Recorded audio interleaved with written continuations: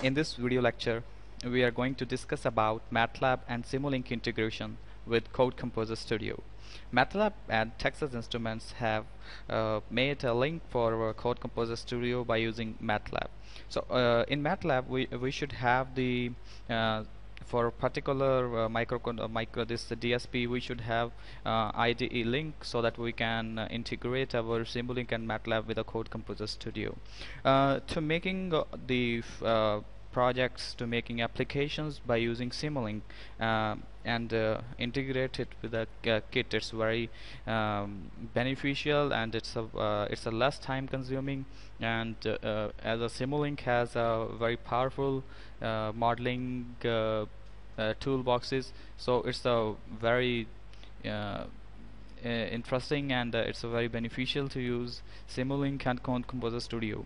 So uh, but there are uh, limitations about uh, the integration of Code Composer Studio with the Simulink. For I can show you the different firstly you can see here in the video in this image that firstly we have the MATLAB and Simulink then we can link uh, we have a link for the code composer studio. That's the uh, software we can say the add-on with the MATLAB so that we can integrate our MATLAB with the code composer studio. Then after we have code composer studio and it has uh, all the uh, embedded uh, uh, all libraries and supported libraries for that. I can show you the versions which version supports which MATLAB version supports the code composer studio so we can see here that uh, Code Composer Studio version 3.1 that's compatible with MATLAB 2007A or it's uh, it, it is also compatible with a less than version this maybe 2006 A B uh, but uh, higher than 2007A that is only supported by version 3.3 so in our kit uh, with our kit we have a 3.1 so uh, I have the MATLAB version two, uh, 2007a so in this uh, video we are going to uh, discuss about uh, integrating version 3.1 with MATLAB 2007a so there are two things. We can also use our MATLAB uh, to uh, write the uh, to control our DSK kit or we can also use the Simulink. So I will show you the both. I will show you some of the commands that we can uh, use with the MATLAB to integrate it with the Code Composer Studio or we'll make some uh, simple examples with a Simulink and we'll use the uh, pre-made examples that are uh, examples that are already available on the Simulink that will uh, show you. So if you have to use the MATLAB and uh, Code Composer Studio so firstly close the Code Composer Studio and simply open MATLAB so I have clicked here on the MATLAB. So now our MATLAB is opened. So make sure you have in connected your USB of the DSK with the laptop. So now in the command line uh, we can check uh, whether we have the capabilities in the MATLAB to integrate it with the DSK or not. So for that uh, for that just write a command C6000 as we are going to use C6000 so write C6000 lib here. Then press enter.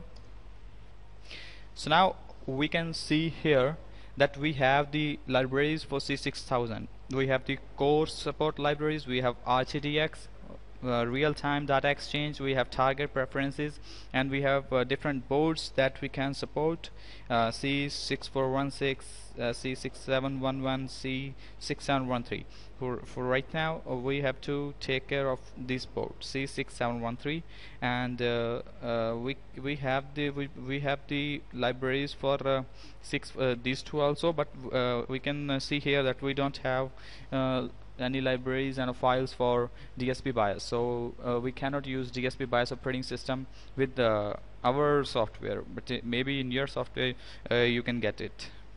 So now just close this screen.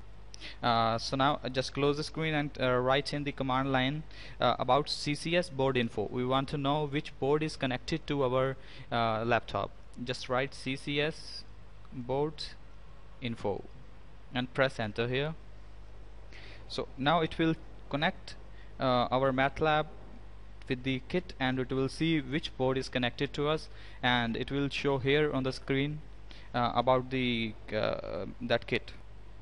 Now we can see that it's showing uh, that we have 66713 DSK and processor num uh, it has to assign some names to the processors.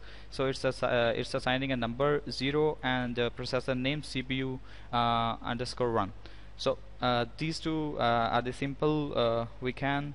And one thing if you want to know about the DSK we can just write CCS DSP and we can click on enter here. So now we can see it's showing uh, some another things about the uh, our kit that uh, there are RTX channels and whether it's running or not or what's the board number processor number uh, and everything. So uh, there are some another commands that we can use with the uh, MATLAB. I can just show you. We have to write just a CC or we can write some so we can write some another commands uh, like uh, uh, I have already some codes here. We can write this command. We can have some variable and uh, we can use this command ccsdsp board num and a processor num.